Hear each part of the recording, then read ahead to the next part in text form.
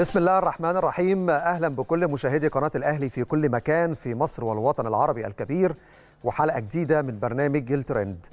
حلقة النهارده بالتأكيد فيها تفاصيل وإحنا بنقترب بالطبع من نهاية الأسبوع فالتفاصيل كثيرة الكواليس عديدة الأخبار بالتأكيد هتكون مهمة لأن النهارده هنتكلم عن موضوعين.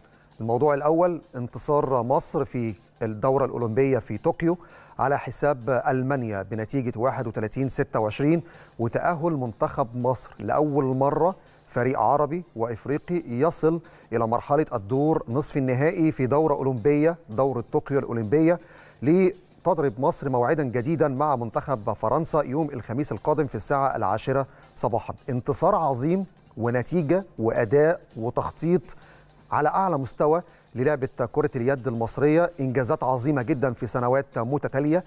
كل ده النهارده بنتيجة مصر أمام ألمانيا في دور الثمانيه من أول دقيقة لغاية آخر دقيقة أنت راكب الجيم عامل مباراة كبيرة جدا.